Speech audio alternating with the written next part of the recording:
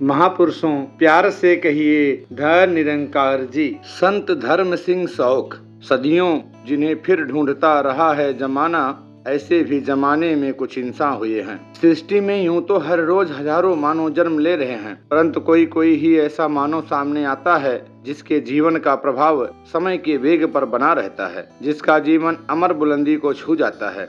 ऐसे जीवन की ऊंचाई को सिर ऊँचा करके चाहे देखना तो संभव हो परंतु वहाँ पहुँचना अति कठिन होता है। ऐसी ही एक बहुपक्षीय शख्सियत थे संत धर्म सिंह जी शौक। संत धर्म सिंह शौक ने हर उस इंसान के हृदय पर अपनी छाप छोड़ी जो उनके संपर्क में आया। उनकी मधुर वाणी, सार्थक वचन, गहरी सोच और सजगता अलौकिक थी। इस महान भाव ने साहित्य की दुनिया में अपना विशेष स्थान बनाया। जहाँ वह स्वयं न पहुँच पाए, वहाँ उनकी कलम पहुँची।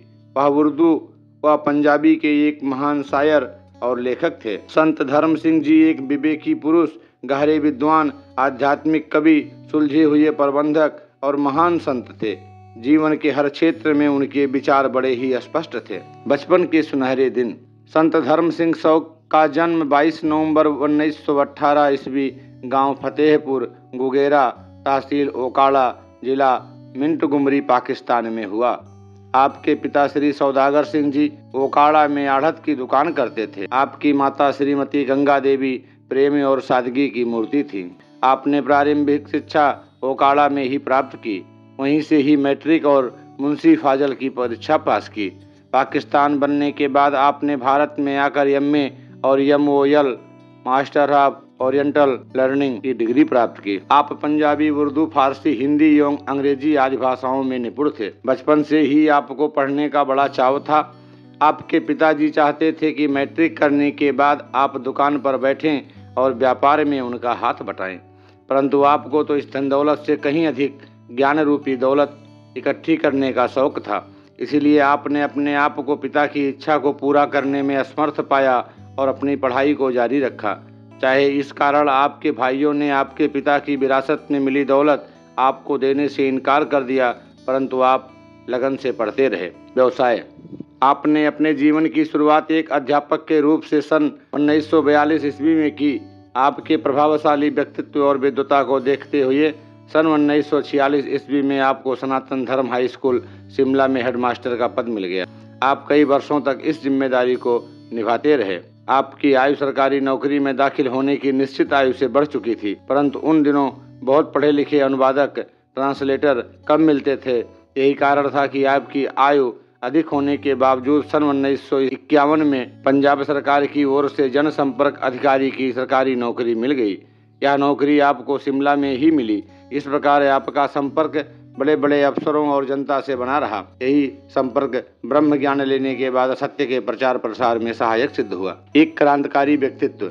बचपन से ही शौक साहब पाखंड रहित धर्म के समर्थक थे। आप अंधविश्वास पर आधारित रीति रिवाजों के विरुद्ध थे। जब भी बड़े बुज़ुर्ग आपको किसी रीति रिवाज को पूरा करने को कहते तो आप उस प्रथा का मूल कारण जानने की इच्छा प्रकट करते। यदि आपको बड़ों के उत्तर से संतुष्टि न होती तो आपका मन बेचैन हो उठता। आपका खोजी मन उस धर्म कर्म की बुनियाद को जानने के लिए सदा उत्सुक रहता। इस प्रकार बचपन से ही आपके मन में धर्म की सही पहचान की इच्छा प्रबल थी। मनोहर लाल आहूजा, जिन्हें बेदिल सरहदी के नाम से जाना जाता था, वह शौक साहब के दोस्त थे। वह इनको बचपन से जानते थे। उन्होंने बताया कि पाकिस्तान में बैसाखी त्योहार से 11 दिन पहले आपने एक इश्तेहार छपवा कर दीवारों पर लगवा दिया कि यदि बैसाखी के दिन तक मेरी आत्मिक संतुष्टि ना कराई गई तो मैं चौराहे पर बैठकर अपने केस कटवा लूँगा। बहुत लोगों ने आपको संतुष्ट करना चाहा, परंतु आपको गुरबाणी के सही अर्थ ना समझा सके। इसके विपरीत गुरबाणी पर आधारित आपके तर्क से वे भी इस बात से सहमत हो गए कि केस रखने या कटवाने से आत्मा को कोई फ़र्क पड़ने वाला नहीं। परिणामतः आपने केस कटवा कर फकीरी बेस बना लिया। और खोज जारी रखी। दो वर्ष के बाद शौक साहब बेदिल जी को एक मुशायरे में मिले। आपको पैंट कमीज पहने देखकर वह हैरान रह गए। आपसे पूछा, शौक साहब, आपकी फकीरी कहाँ गई? उन्होंने उत्तर दिया, बेदिल, फकीरी भी पढ़ाई मांगती है। अब मैंने सोच लिया है कि पहले पढ़ना चाहिए। इसीलिए मैंने बीए का फॉर्म भर दिया है। इस प्रकार आप दुनियावी विद्या के साथ साथ ही रूहानियत की पढ़ाई करना चाहते थे। एक परंपरावादी धर्म व संस्था को बड़े ध्यान से देखना और उन पर विचार करना आपका स्वभाव बन चुका था। आप हर बात को बारीकी से सोचते और यदि आपके विवेक को यह बात सही लगती तो उस पर पूर्णतया कार्य करते। पूर्ण सदगुरु से भेंट। सन उन्नीस सौ पचास ईस्वी में जालंधर में आपका संपर्क महात्मा पूरण सिंह जी से हुआ। यह पहचान प्रेम में बदल गई। आप जब भी उनसे मिलते, प्रभु प्राप्ति की बात करते। संत पूरन सिंह जी ने आपके मन की जिज्ञासा को महसूस किया और वह जान गए कि आपकी इच्छा पूर्ति केवल पूर्ण सदगुरु ही कर सकते हैं। इसीलिए उन्होंने आपको सदगुरु बाबा अवतार सिंह जी से भेंट करने के लिए प्रेरणा दी। उनकी बातों में आपको सच्चाई लगी। आपके अंदर की प्रभु दर्शन की प्यास तड़प का रूप धारण कर गई। और आप संत पूरण सिंह जी को साथ लेकर सहनशाह बाबा अवतार सिंह जी के दर्शन करने के लिए दिल्ली पहुँच गए। सतगुरु के दर्शन करते ही आत्मा ने आवाज़ दी कि यही जीवन का लक्ष्य पूरा होने वाला है। सहनशाह जी के चरणों में आपने ब्रह्म ज्ञान प्राप्त करने की प्रार्थना की। सहनशाह जी का आदेश पाते ही पूर्ण संत भाई साहब लाभ सिंह जी ने आपको परम पिता परमात्मा का ज्ञान कराया। इस निराकार प्रभु को अंग संग देखते ही आपकी आत्मा आनंद विभोर हो उठी। हृदय खुशी से झूम उठा। इस प्रकार दिसंबर 1950 में आपको सदगुरु की शरण मिली। कुछ समय तक तो आप निरंकार सदगुरु के इश्क में इस कदर खो गए कि आपका ध्यान संसार की ओर से बिल्कुल ही हट गया। सदगुरु का मानव शरीर में आना मानव जाति के लिए एक वरदान लगने लगा। उन्हीं दिनों आपने पंजाबी भाषा में एक कविता लिखी, जिसके कुछ पद इस तरह हैं। तू कादर नाल, तिकादर दी कुदरत नाल, एक मिक से खड़ी रहंदी सी माया भी, करन चाकरी तेरी। बड़ी मुश्किल सी जुगती, ज्ञान दिबे दा पुराणा बिच। बड़ी आसान इसनु कर गई है सादगी तेरी। अर्थात सदगुरु स्वयं निराकार का साकार रूप है, जो प्रकृति और प्रकृति में समाये हुए प्रभु से एकमेव है। यह सारी माया सदगुरु की सेवा करना अपना सौभाग्य समझती है। जो ब्रह्म ज्ञान सदगुरु के पास है और जिसको इतनी सरलता से इसने समझा दिया है, वेदों शास्त्रों में इस ज्ञान प्राप्ति की युक्ति बहुत कठिन बताई गई है। यह बहुत असंभव कार्य लगता था, परंतु सदगुरु ने इस असंभव कार्य को संभव कर दिखाया। वेदों शास्त्रों ग्रंथों का रहस्य समझ में आ गया। ब्रह्म ज्ञान की प्राप्ति के बाद आप सांसारिक विद्याओं के अध्यापक के साथ साथ ब्रह्म विद्या के अध्यापक भी बन गए। आपके अंदर के लुत्फ खोजी को सही दिशा तथा ज्ञान का बोध हो चुका था। इश्क हकीकी का जादू। ज्ञान लेते ही आप इश्क हकीकी में खो गए। सदगुरु प्रेम में इतने आनंद विभोर हो गए कि सांसारिक प्राप्तियाँ फीकी फीकी सी लगने लगी। गुरु का इश्क जीवन बन गया। सदगुरु के मीठे मीठे वचन सुनने की सदा तड़प बनी रहती। या मस्त नयन गुरु दर्शन के प्यासे रहने लगे और इस इश्क के नशे में आपने लिखा, तेरे बोल पक्के सुखावे, सुहावे, प्राणा तो मिठी मधुर सहज बाणी। की थो मैं तेरे सिवा होर मंगा, कि हर सह तेरे सिवा याड़ी जानी मेरा शौक हर दम नवायता किए, तेरी प्रीत ता है युगा तो पुरानी सतगुरु के वचन संत को शांत करने वाले और तपती रूहों को ठंडक देने वाले होते हैं। सतगुरु की मीठी दिव्य वाणी सबसे अधिक मन को प्रभावित करती है। कभी कहता है कि सतगुरु से इनकी प्रीत के सिवाय और क्या मांगा जाए, क्योंकि दुनिया की अन्य सभी वस्तुएँ नासवान हैं। गुरसिख के लिए सतगुरु का प्रेम चाहे नया हो, परंतु सतगुरु तो युगों युगों पुरातन सनातन है। और इसका प्रेम भी पुराना है। आपका सदगुरु और सदगुरु के प्रेमियों से इतना प्रेम था कि दुनिया की कोई भी शोहरत, इज़्ज़त, मान सम्मान इस प्रेम के आड़े नहीं आ सका। उन्नीस सौ छिहत्तर ईस्वी में संत निरंकारी मंडल ने इनकी कविताओं व गजलों को एक पुस्तक रूप में प्रकाशित करने का निर्णय लिया।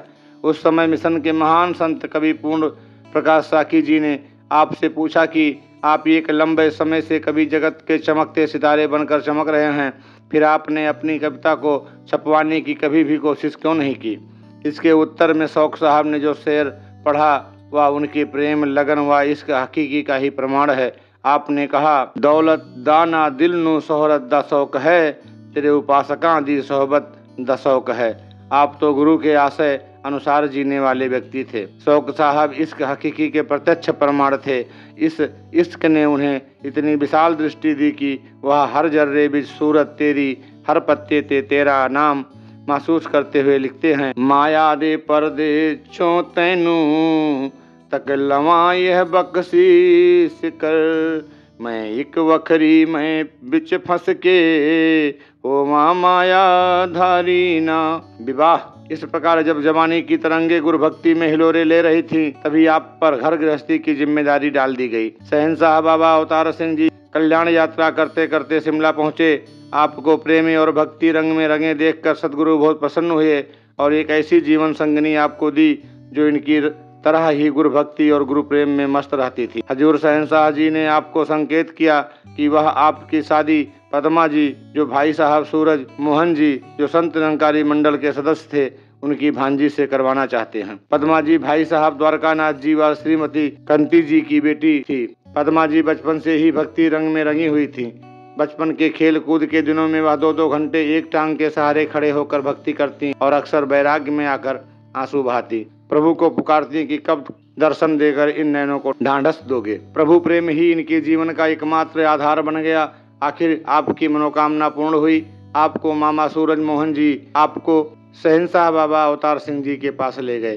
सहनशाह जी इस निराकार प्रभु के दर्शन करते ही आपकी रूह गदगद हो उठी और आप दिन रात भक्ति में मग्न रहने लगी। जब कभी घर वाले पदमा जी की शादी की बात करते तो आप विवाह को एक बंधन कहकर घर वालों की बात मानने से इनकार कर देती। आखिर पदमा जी के माता पिता ने आपकी इस जिद के बारे में शहनशाह जी से बात की। एक दिन शहनशाह जी ने पदमा जी को बुलाया और कहा, मैं तेरी शादी जिस लड़के से करने जा रहा हूँ, वह तेरी भक्ति में बाधक नहीं, साधक सिद्ध होगा, लड़का गुरमत में पक्का है।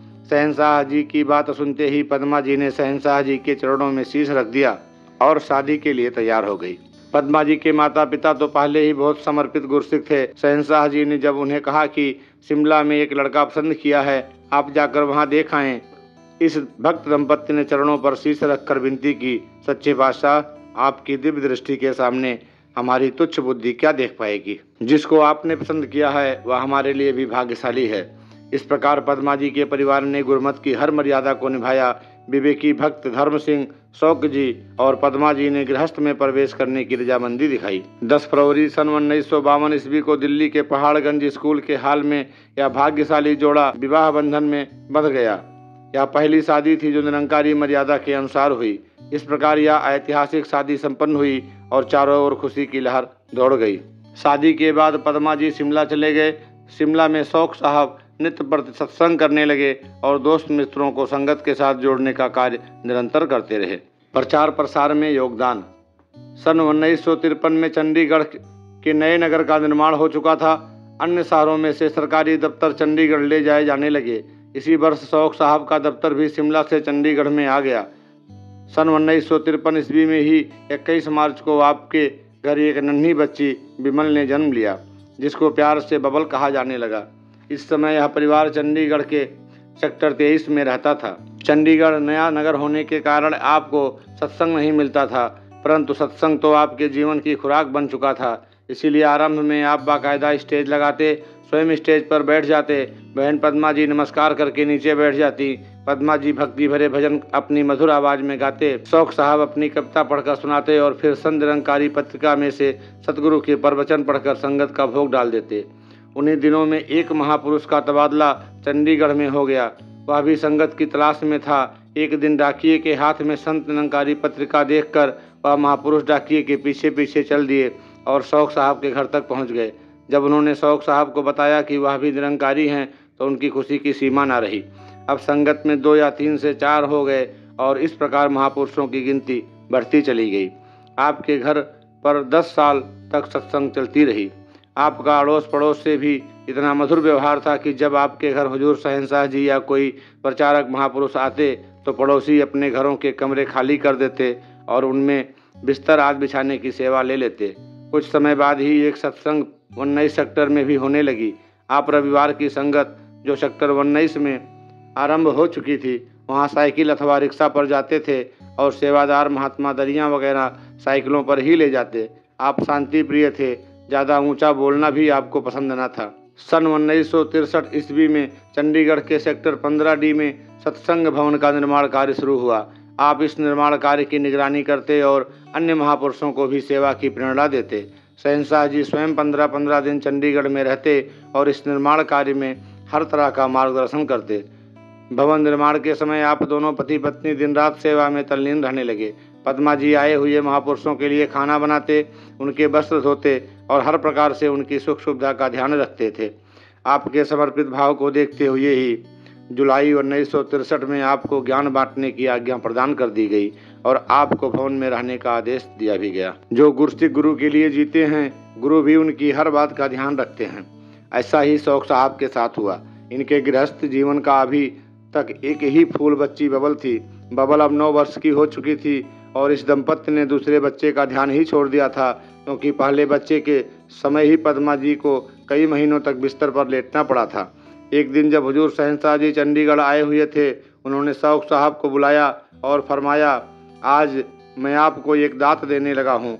आपने इनकार नहीं करना और इस दांत को अपनी झोली में डलवा लेना है।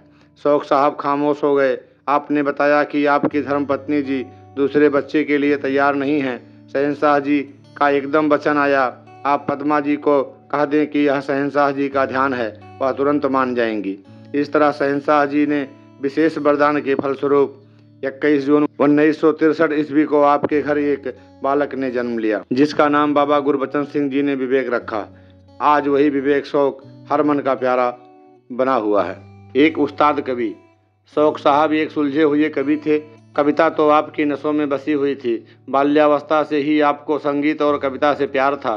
आपने बोलना सीखा तो वातावरण से प्रभावित होकर गुरबाणी के शब्द गुनगुनाने लगे। आपका कविता से प्रेम तो एक रब्बी देन थी। आप अभी तीसरी कक्षा में ही पढ़ रहे थे कि आपने अपनी पहली कविता पढ़ी, जिसकी चारों ओर प्रशंसा हुई। धीरे धीरे आप जलसों में, गुरुद्वारों में, मंदिरों में और स्कूलों के कार्यक्रमों में कविता पढ़ने लगे। आप अभी आठवीं कक्षा में पढ़ते थे कि आपकी कविता विषय एवं रूप दोनों में पूर्ण पाई गई। इन्हीं दिनों आपकी कक्षा के एक सहपाठी सीताराम जौहर अदीब ने आपको अपना उस्ताद मानना आरंभ कर दिया। बाद में यही अदीब साहब एक महान कवि बनकर उभरे। या दोस्ती का रिश्ता उम्र भर का बन गया। हर नौ वर्ष पर अदीब साहब आपको एक लंबी नज्म लिखकर शुभकामनाएँ देते। आपने उसे अपनी आखिरी पत्र इस शेयर के साथ लिखा। दिला दी मंडी दे, सौदागरा दा, साझा एक फैसला ये। पसंद अपनी दा मुल न पाओ। जे चीज़ लेनी है, भा न पूछो। आपकी चढ़ती जवानी के साथ ही कविता भी ऊंचाइयों को छूने लगी। उन दिनों देश की स्वतंत्रता संग्राम की अग्नि को प्रज्वलित करने के लिए गीतकारों एवं कवियों ने भरसक प्रयास किया। आपकी कविता में भी क्रांति का भाव प्रधान रहा। ओकाड़ा में आपके समकालीन कवि श्री चरण सिंह, साबिर और श्री उत्तम चंद तालिब आदि थे। उन दिनों आप अधिकतर पंजाबी और उर्दू में कविता कहते थे। आप एक नामी शायर थे।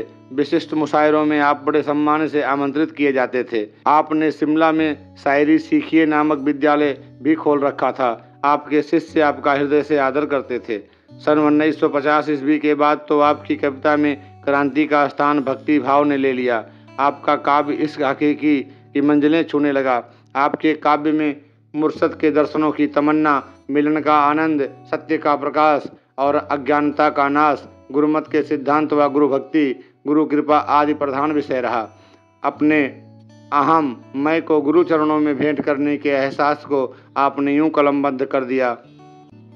अवल ते माण दिल बिच तू आउण ही नहीं देदा। कीता ये जद कदे भी तेरे ते माण कीता ये। अर्थात ये गुरसिक केवल अपने सदगुरु पर ही गर्व करता है। इस विशाल सत्ता की अनुभूति गुरसिक के हृदय में अभिमान आने ही नहीं देती। ज़िंदगी की हकीकतों को आप अच्छी तरह समझते और समझाते। कई बार देखा जाता है कि मानो निरंकार प्रभु से प्रेम निभाना तो चाहता है, परंतु साथ ही साथ सांसारिक मोह को भी नहीं त्यागना चाहता। उसके मन के अंदर संसारी और निरंकार का आकर्षण तराजू कड़ी के पल्लड़ों की भांति ऊपर नीचे होता रहता है। ऐसा मन पूर्णतः गुरु भक्ति में तल्लीन नहीं हो पाता।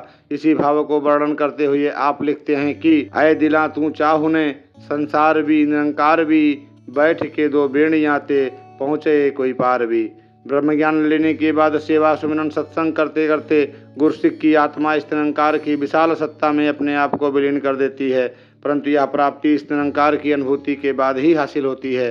इसी भाव को आपने अपनी पंजाबी रुबाई में इस प्रकार लिखा कि, यह मन मेरे बिच बस आए पर होली होली रग रग लू लू बिच धस आए पर होली होली। मुर सदने ता मैनू दस दिता ये छिन अंदर अपना आप इस भी दस आए पर होली होली। प्रेम इंसान की बुनियाद है, प्रेम रहित जीवन रूखा और असफल सा बना रहता है। जिस मानव को प्रेम करना आ गया जिसने प्रेम के मौलिक सिद्धांत को समझा, वही विशालता को प्राप्त हुआ। प्रभु प्रेम संकीर्णता और स्वार्थ से ऊपर उठाता है। यह प्रेम ही है जो सभी के साथ नाता जोड़ देता है। जिसने अपने प्रभु के दर्शन हर मानव में किए, उसके लिए कोई बेगाना न रहा। ऐसे मानव के लिए ही प्रेम ही इंसान है और प्रेम ही भगवान है। इसी प्रेम की फिलासफी को आप कितने सरल शब्दों में बयां कर रहे हैं। प्यार की ये दो दिला दे, मेल दायक तजरबा। गल नहीं ऐसी कोई, समझण दी जा, समझाण दी। चुप चपीते खेल जान जानते आशिक तेरे। एक इशारा ही बहुत है, लोड़ नहीं फरमान दी। आप अपने दिल की चाहत को बयान करते हुए लिखते हैं दौलत दा है ना दिल नु सोहरत दा शौक है तेरे उपासकां दी सोहबत दा शौक है सतगुरु के दर पर जो अपनी हील हुज्जत छोड़ कर आते हैं वही सब कुछ प्राप्त कर लेते हैं जैसे छड़ के दलील बाजी आया तो तर गया कि पाएगा वो जिसनु हुज्जत दशौक है। आपकी कविता, गीत व गज़ल विषय वस्तु के साथ साथ काव्य कला में भी पूर्ण थी। आपके नपे तुले शब्द बहुत कुछ समझा जाते। आप ना ही कोई हल्का शेर लिखते और ना ही किसी का हल्का शेर पसंद करते। एक बार बेदिल सरहदी जी और जौहर जी लुधियाना से एक मुशायरे में भाग लेने के बाद आपको मिलने चंडीगढ़ चले गए। देर रात तक शेर व शायरी के दौर चलते रहे। बेदिल जी ने अपनी एक नई लिखी गज़ल सुनाई, जिसमें एक शब्द, इसलिए मिसरे में ठीक नहीं बैठ रहा था। आपने हँसते हँसते बेदिल जी को कहा, इसलिए को इस तरह इस्तेमाल किया है, जैसे कोई कहे कि हाथी के कान बड़े होते हैं। इसलिए घोड़ा तेज दौड़ता है। इस प्रकार आपके समझाने का ढंग भी अनोखा होता था। बातों बातों में बात समझाने की कला आपको ही आती थी।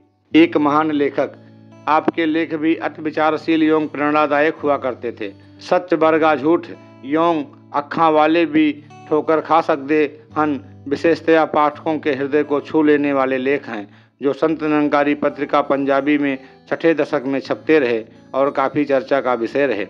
आपके लेख बड़े संजीदा एवं हृदय को छू लेने वाले एवं प्रेरणादायक होते।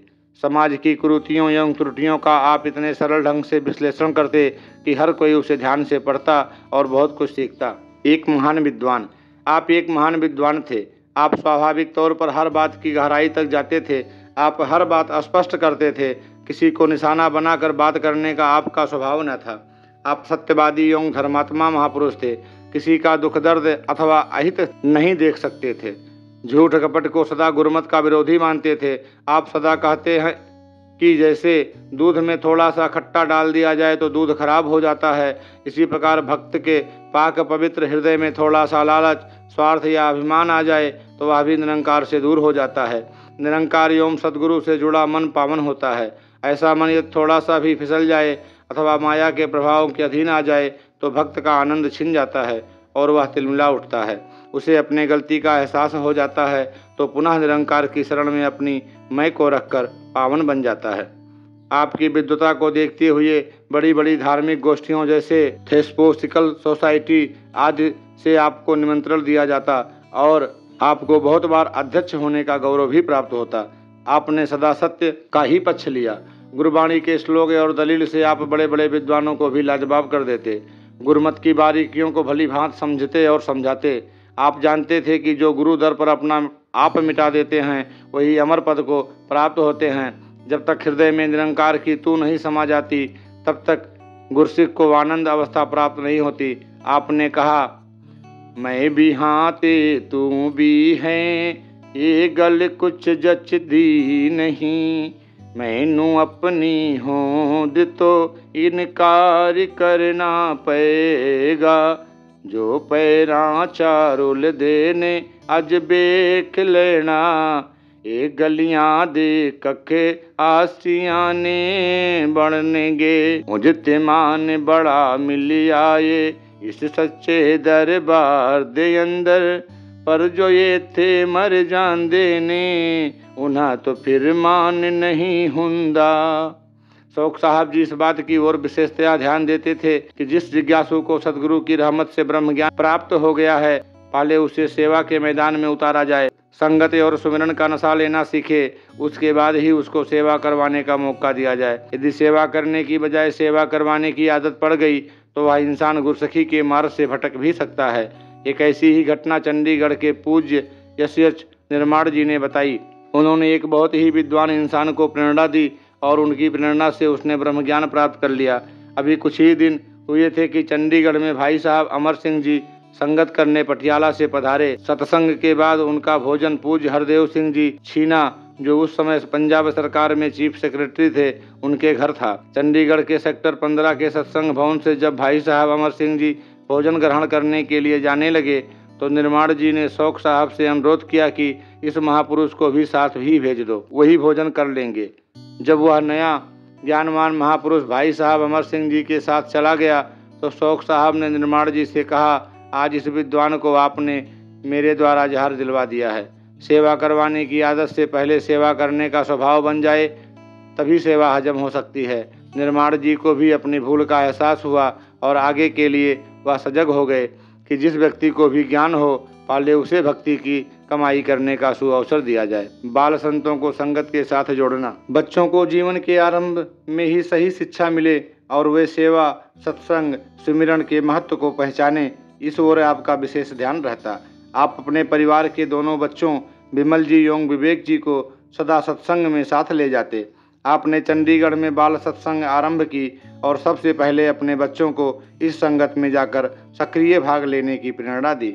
अन्य महापुरुषों को भी संकेत दिया कि बच्चों की गुरमत की नींव मज़बूत करने के लिए उनको बाल संगत में निरंतर भेजा करें, ताकि उनका व्यवहार गुरमत वाला बने, उनके विचार उत्तम और भावनाएँ मानवता वाली हों, तथा वे मीठी व नम्र वाणी से हर व्यक्ति का दिल जीत पाएँ। आपकी बात को मानकर उस समय जो बच्चे बाल संगत के साथ जुड़ गए, आज वे सफल वक्ता, सुरीले गीतकार एवं जिम्मेदार सेवादार बनकर मिशन में कई जिम्मेदारियों को बखूबी निभा रहे हैं। आज भी पूरे भारत में जो बाल संगत का इतना विस्तृत रूप देखने को मिल रहा है, उसका श्रेय चंडीगढ़ के महात्मा पूज्य बाबू केशव राम जी एवं उनके अनेक साथियों को जाता है, जिन्होंने इस बीज रूप में आरंभ की गई बाल संगत को एक विस्तृत पौधे का रूप दिया। कभी कभी आप स्वयं बच्चों की संगत में जाते और उन्हें सत्संग का महत्व समझाते। आप इस बात की ओर विशेष ध्यान देते कि आपके अपने बच्चे संगत के महत्व को समझें। एक बार विवेक जी ने घर आकर स्कूल से जो काम मिला था उसे ना किया और रात को जब सत्संग का समय हुआ तो अपनी माता पद्मा जी को विनती करने लगे कि वह अशोक साहब से कहें कि उस दिन उन्हें संगत में साथ न ले जाएँ, ताकि वह स्कूल का काम कर सकें। पद्मा जी की विनती पर आप विवेक जी को घर छोड़ गए, परंतु इस नन्हे बालक को समझाने के लिए समय का इंतज़ार करने लगे। दो चार दिन के बाद आप विवेक जी को साथ लेकर सैर करने के लिए निकले। शौक साहब का यह स्वभाव था कि किसी को भी कुछ समझाना होता तो उचित अवसर का इंतज़ार करके ही उसे इस ढंग से समझाते कि दूसरे को महसूस भी ना हो और बात भी उसके ध्यान में बैठ जाए। उस दिन भी पहले आप विवेक जी से अन्य स्कूल की बातें पूछते रहे, उसके बाद कहने लगे, नीटू जी, विवेक जी का घरेलू नाम, एक बात बताइए, यदि आप स्कूल का काम घर से नहीं करके ले जाते तो आपकी मैडम क्या कहती हैं? विवेक जी ने भोलेपन से कहा, डैडी जी मैडम सजा भी दे देती हैं और सबके सामने इंसल्ट बेजती भी हो जाती है। आपने फिर कहा अच्छा यदि स्कूल का काम ना करें तो मैडम से जो सज़ा मिलती है, वह आप पहचानते भी हैं और इससे बचना भी चाहते हैं। इस लापरवाही द्वारा होने वाले नुकसान से भली भांत परिचित हैं, परंतु जो नुकसान सत्संग में गैर हाजिर होकर होता है, कभी उसके बारे में आपने सोचा है? संतों महापुरुषों के वचन हमारे जीवन को सहज भाव में ही बदल रहे होते हैं। उनकी कृपा दृष्टि से तकदीरें बदल रही होती हैं। इस कारण जो नुकसान सत्संग में गैर हाजिर होने पर हमें उठाना पड़ता है, भले ही वह दिखाई ना दे, परंतु यह होता बहुत बड़ा है। आगे से आप स्कूल का काम सत्संग से पहले कर लिया करें। फिर कभी ऐसी नौबत ना आए कि आपको अपनी मम्मी की सिफारिश की ज़रूरत पड़े। यह मीठी मीठी झिड़की व सिखलाई इस बालक को अब तक याद है और उन्होंने कई बाल संगतों में अपनी आप बीती सुनाकर संगत के महत्व को उजागर किया। अपनी सीख के कारण ही आज यह नौजवान गुरमत का चलता फिरता विद्यालय बन चुका है। सत्य दीक्षा, काव्य प्रवीणता, प्रभावशाली वक्ता के गुण तो इस बालक को विरासत में मिले। उनका सुंदर निखरा हुआ रूप अब देखने को मिल रहा है। फिल्मी दुनिया की चकाचौंध, मायावी फसारे में भी गुरमत को बनाए रखता है और इस दुनिया के वासियों को भी जीवन जीकर प्रमाणित कर रहा है। कि व्यवसाय कोई भी हो, यदि हृदय में इंसानियत का वास है, जो रूहानियत से ही प्राप्त होती है तो मानो कहीं भी रहे, उसकी परिस्थितियाँ कैसी भी हों, उसकी मनोस्थिति स्थिर रह सकती है। इसकी प्रेरणा से आज इस फिल्मी जगत के कई सितारे, कई कलाकार सदगुरु के चरणों में आकर जीवन के सही लक्ष्य को प्राप्त कर रहे हैं। यह नौजवान अपने पिता की एक एक बात को जीवन में क्रियात्मक रूप दे रहा है। इसी कारण यह एक सुंदर संत कलाकार, निष्काम सेवक, प्रवीण अभिनायक, वात्सल्यपूर्ण पिता, दिव्य सपूत, कामयाब जीवन साथी और निष्ठावान गुरुभक्त बनकर उभरा है। अपने पिता की भांति यह भी बुज़ुर्गों में, बुज़ुर्ग बच्चों में बच्चा, नौजवानों में नौजवान बन जाता है। जीवन के पर्दे पर भी एक कुशल कलाकार के रूप में उभर कर सामने आया है। अपने पिता शौक साहब की तरह इसका तखल्लुस भी शौक ही है। विवेक शौक की कविता एवं गीत व गजलों की गहराई और कला पक्ष भी अपने पिता की तरह पूर्ण है। इसने अपने पिता का केवल तकल्लुस ही नहीं लिया, बल्कि गुरमत वाली पूरी विरासत को ही संभाल लिया है। सभी से प्रेम। मानव मन यदि निरंकार प्रभु से जुड़ जाए तो जीवन में आनंद बना रहता है और सदगर्म हो पाते हैं। परंतु इसी मन में यदि सांसारिक प्रवृत्तियाँ प्रबल हो जाएँ तो कर्म भी बदी वाले बन जाते हैं। इसलिए मानव की मनोवृत्ति को यदि समझ लिया जाए तो किसी से भी नफरत करने की गुंजाइश नहीं रहती। कोई भी मानव पूर्ण नहीं होता। पूर्ण तो केवल सतगुरु और निरंकार होते हैं। इसीलिए किसी भी इंसान को यदि हम उसके गुण देखकर प्रेम करते हैं तो अवगुण देखकर नफरत भी करेंगे।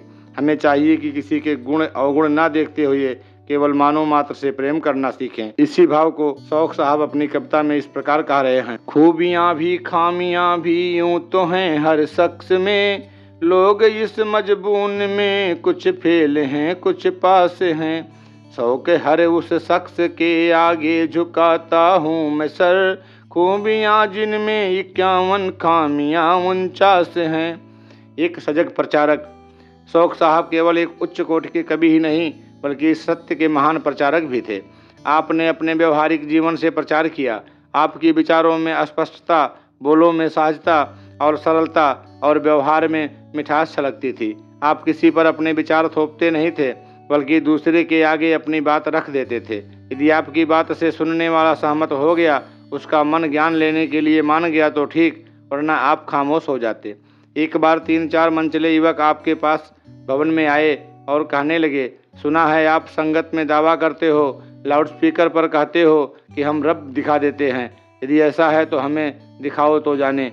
आपने उनकी बात धैर्य से सुनी और सहज भाव में जवाब दिया, बरखुरदार यदि हम लाउड स्पीकर से आवाज़ देते हैं तो ठीक ही होगा। बस तो है तो ढिंढोरा पीटते हैं। बाकी रही बात, दिखाओ की बात। यह आपकी नीयत प्रकट कर रही है कि आप रब देखने नहीं, अभी तो हमें परखने के लिए आए हैं। मैंने आपको संदेशा नहीं भेजा, आप स्वयं आए हैं।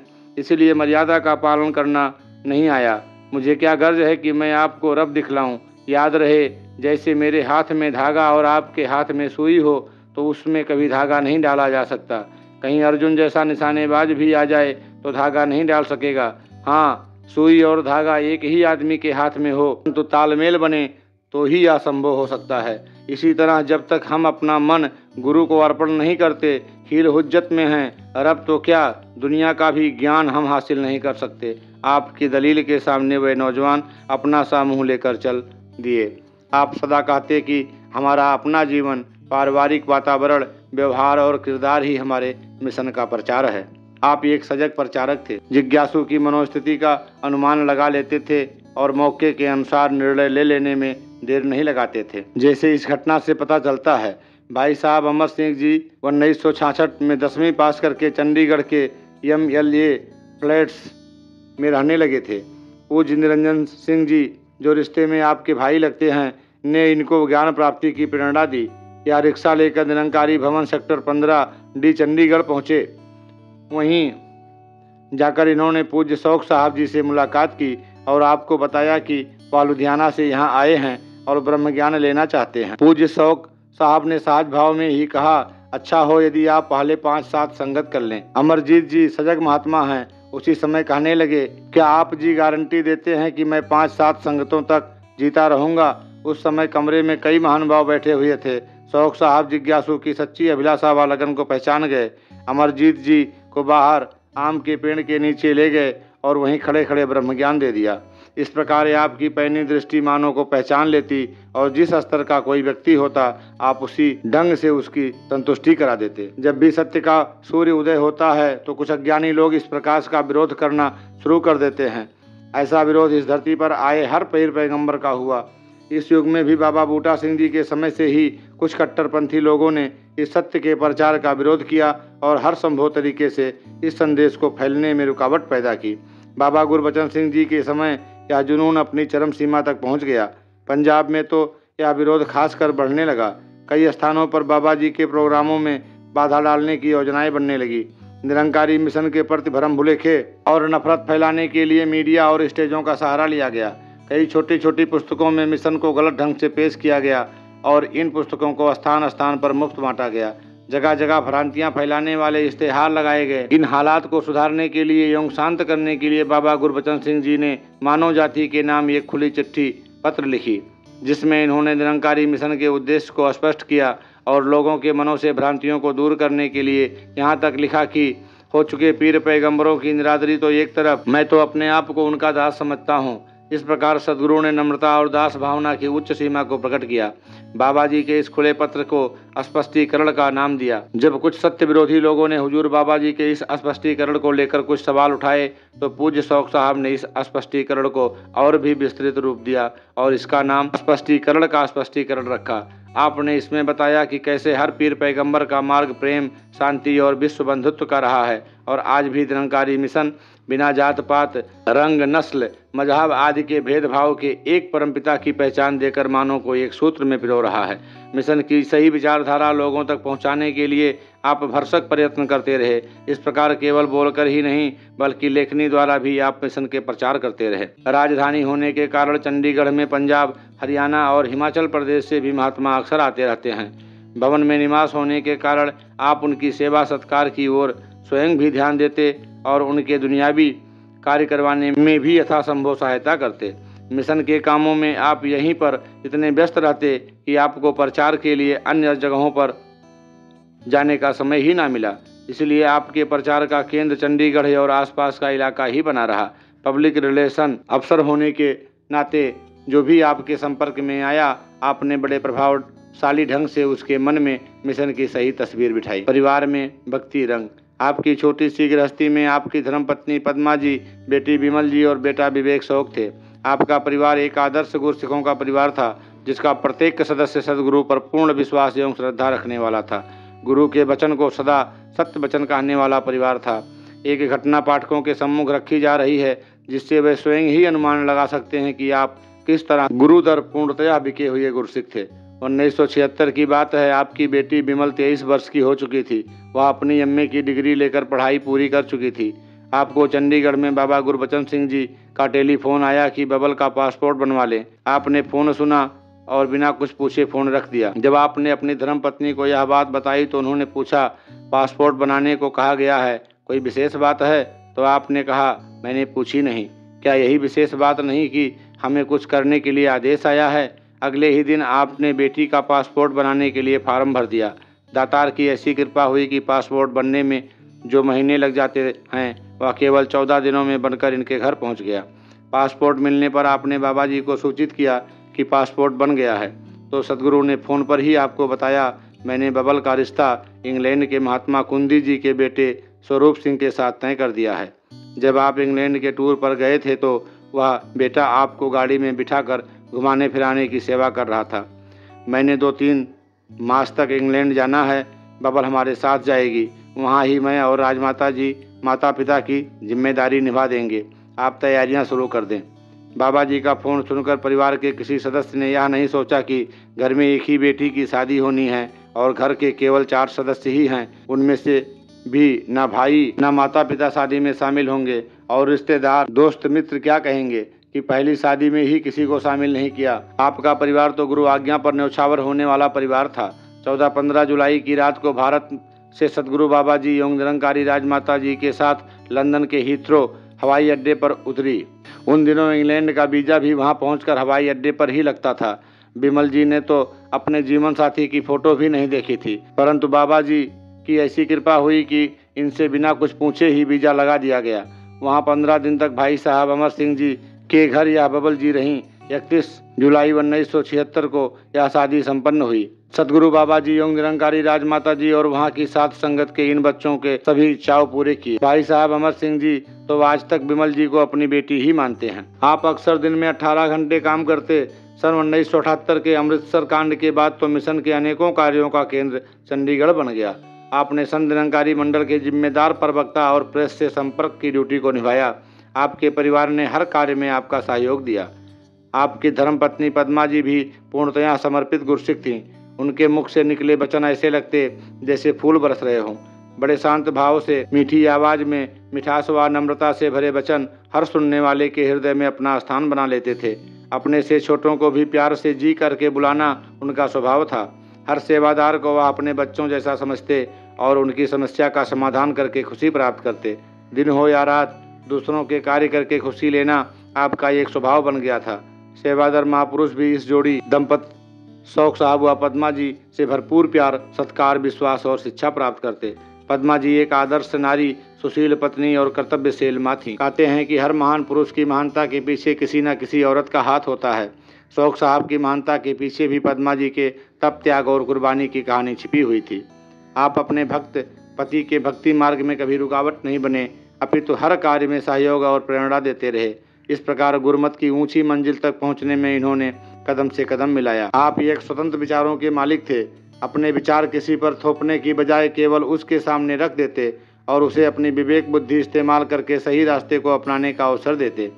आपने खुद भी सहज जीवन जिया, गृहस्थ या समाज की किसी समस्या को चिंता का विषय नहीं बनाया। जब आपका बेटा विवेक चौदह वर्ष का हुआ तो एक दिन आपने उसे अपने पास बैठाकर बड़े प्यार से कहना शुरू किया, विवेक, अब तू चौदह वर्ष का हो गया है।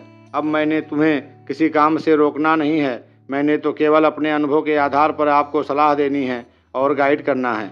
मैं तो यह बता सकता हूँ कि कौन सा रास्ता, कौन सी मंजिल तक ले जाता है। आगे ठीक चयन करना आपका काम होगा।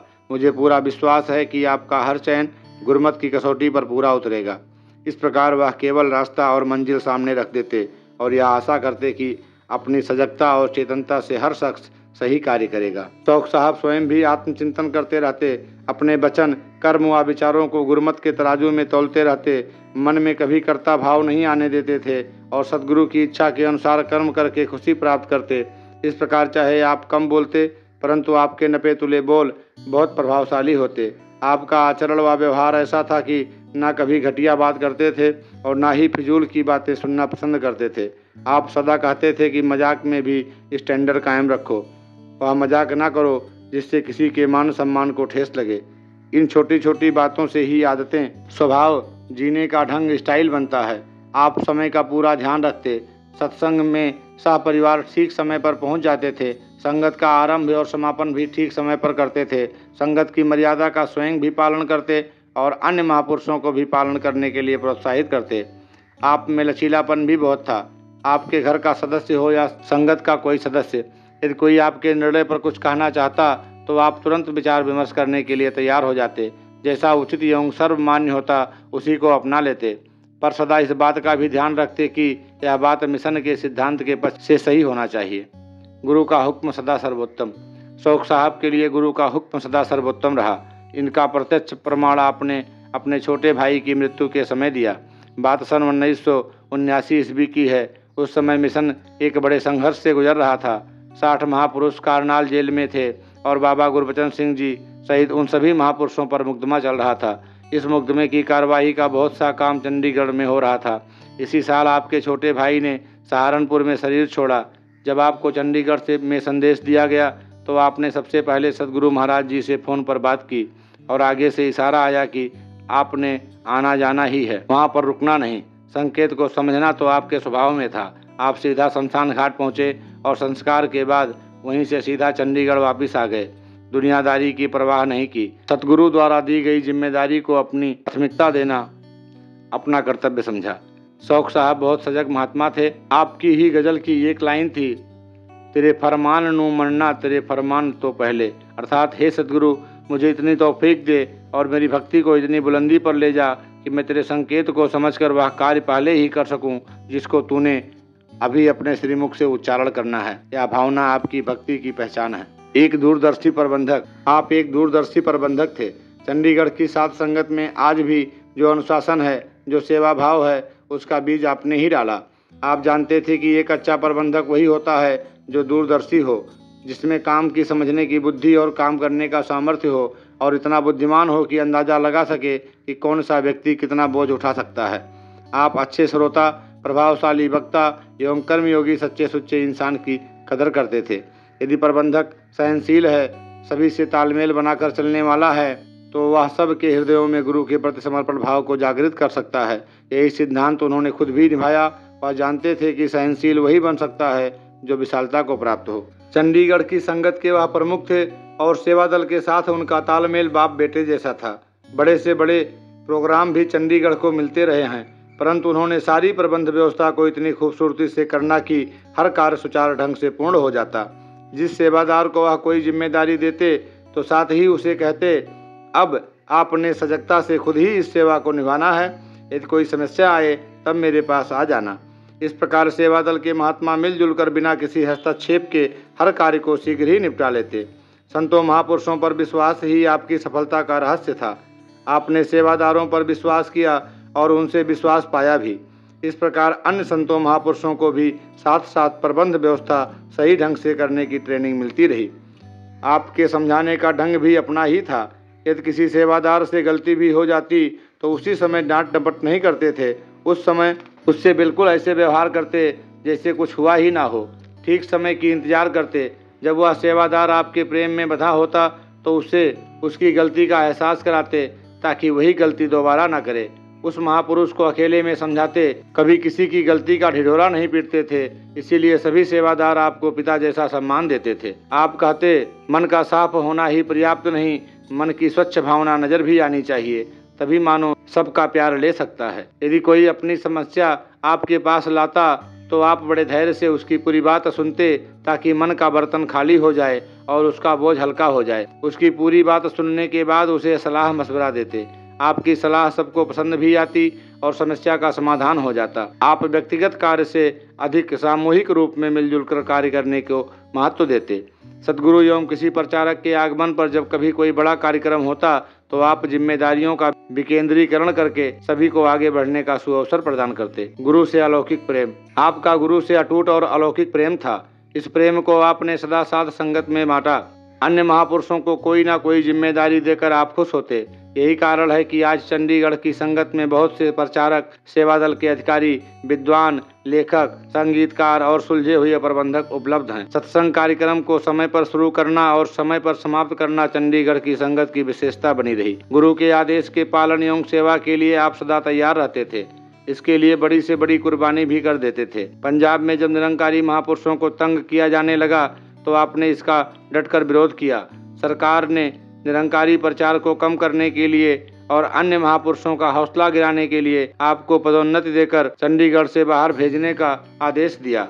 परंतु युग प्रवर्तक बाबा गुरबचन जी के आदेशानुसार आपने सरकारी नौकरी से इस्तीफा दे दिया। अब आप दिन रात चंडीगढ़ में रहकर निरंकारी संतों में एक नया उत्साह भरने लगे। कलम का धनी होने के नाते प्रेस के साथ आपने पूरा तालमेल रखा।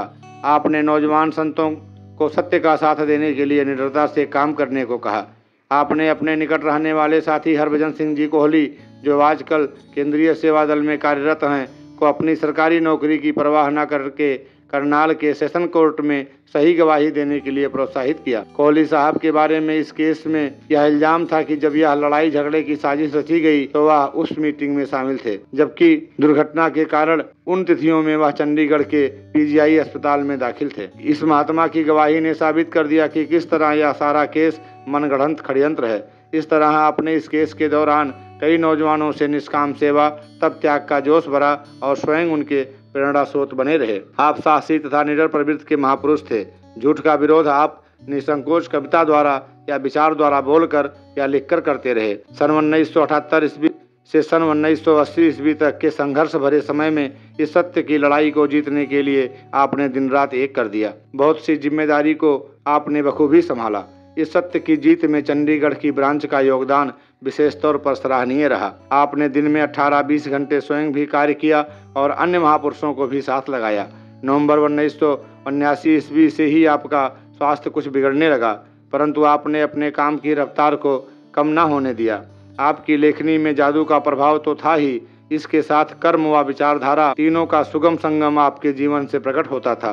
आपके इन गुणों को ही देखकर 17 जनवरी उन्नीस को संत अमर सिंह पटियाला वालों के शरीर त्यागने के बाद आपको संत निरंकारी पत्रिका का मुख्य संपादक नियुक्त किया गया। इसके पहले यह सेवा भाई साहब अमर सिंह जी निभा रहे थे। आप अंग्रेज़ी, हिंदी, पंजाबी, फारसी तथा उर्दू भाषाओं के विद्वान थे। आपके मुख्य संपादक के रूप में संत निरंकारी पत्रिका के कई भाषाओं में अनुवाद उपलब्ध कराए। इस प्रकार एक नया जोश साहित्यकारों को मिला। चार जनवरी उन्नीस सौ अस्सी को करनाल की सेशन कोर्ट ने ऐतिहासिक निर्णय सुनाया, जिसके अनुसार बाबा जी सहित सभी निरंकारी संतों को बाइज्जत बरी किया गया और उस पूरे मुकदमे को बेबुनियाद बताया गया। आपके कोमल हृदय में अभाव आए। मन मुख दा मुँह काला होंदे, गुरमुख दे मुँह लाली। हर कोई जाने हर कोई समझे ये गल है देखी भाली। जे सूरज बल मुँह करिए ताहुंदे रूप सवाया। जे सूरज बल पिठ भवाइए उन्दी सूरत काली। अप्रैल उन्नीस सौ अस्सी में हृदय की तकलीफ़ के कारण आपको पीजीआई अस्पताल चंडीगढ़ में दाखिल कराया गया। शरीर चाहे बेबस था, परंतु आत्मबल में कोई फ़र्क न था। चाहे डॉक्टरों ने आपको अधिक बोलने से मना किया था, परंतु अस्पताल में आने वाले हर संत महापुरुष को आप धन निरंकार का जवाब धन निरंकार बोल कर देते। जब डॉक्टरों ने महापुरुषों को आपसे मिलने से रोका तो आपने उन्हें स्पष्ट शब्दों में कहा, संत महात्माओं के दर्शन मेरा जीवन है। मैं चाहे नहीं बोलूँगा परंतु आप मुझे इनके दर्शन करने का अवसर देते रहें। इस प्रकार शारीरिक दुर्बलता में भी आपने नाम रूपी पूंजी को संभाले रखा।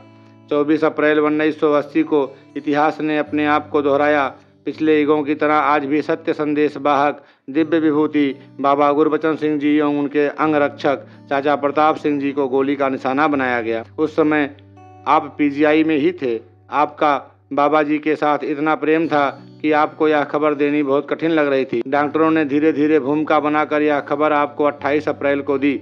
आपने यह खबर सहज भाव से सुनी और गंभीर हो गए और आपके मुख से निकला। कृष्ण और कंस था, प्रहलाद और हिरणा कश्यप, एक रावण भी हमेशा ही रहा राम के साथ।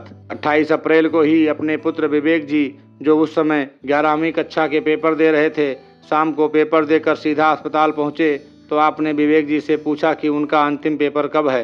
विवेक जी ने बताया कि लिखती पेपर तो पहली मई को ख़त्म हो रहे हैं, जबकि प्रैक्टिकल पेपर नौ मई को होना है। आपने उसी सहज भाव से कहा, प्रैक्टिकल पेपरों में तो कुछ खास पढ़ना नहीं होता, परंतु पहली मई तक तो तुम्हें पढ़ाई में व्यस्त रहना है। उस समय विवेक जी उनके इस वचन को पूरी तरह समझ ना पाए। कहते हैं कि महापुरुष अपनी इच्छा से अपना शरीर त्यागते हैं। आपके साथ भी ऐसा ही हुआ। आप भी पहली मई की रात का इंतज़ार करने लगे, जबकि विवेक ने पढ़ाई से फुर्सत पानी थी। दो मई की सुबह आठ बजे आपने शरीर त्याग दिया। यह खबर मिलते ही चारों ओर से महात्मा चंडीगढ़ पहुँचने शुरू हो गए। चंडीगढ़ के पंद्रह सेक्टर के भवन में आपके पार्थिव शरीर को संतों महापुरुषों के दर्शनों के लिए रखा गया। आपके अंतिम दर्शन करने के लिए और श्रद्धांजलि देने के लिए हज़ारों महात्मा चंडीगढ़ पहुँचे और आपकी अंतिम यात्रा में भाग लिया। इस तरह यह अलौकिक विभूति अपने जीवन का सफ़र तय करके अमर पद को प्राप्त हुई। आपके शरीर त्यागने की खबर ने आपके शेयर को सत्य कर डाला कि गुरसिख गुरु के बिना ऐसे महसूस करता है जैसे पानी के बिना मछली। आपका नाम भी बाबा गुरबचन सिंह की शहीदी के साथ साथ लिया जाने लगा। आपका यह शहर सत्य हुआ। इश्क ने मुझको नवाजा है इस इमाम के साथ। लोग लेते हैं मेरा नाम तेरे नाम के साथ। और यह ना भूलें कि जो आया है वो जाएगा ज़रूर। सुबह हर रंग में मिलती है गले शाम के साथ। निसंदेह शौक साहब ने जीवन के हर क्षेत्र में गुरमत को अपनाकर मानवता को जीवन जीने का ढंग बताया। आपके सदाचारी जीवन का प्रभाव आपके संपर्क में आने वाले हर व्यक्ति पर गहरा पड़ता। और आपका चुंबकीय व्यक्तित्व सीधा हृदय को छू जाता।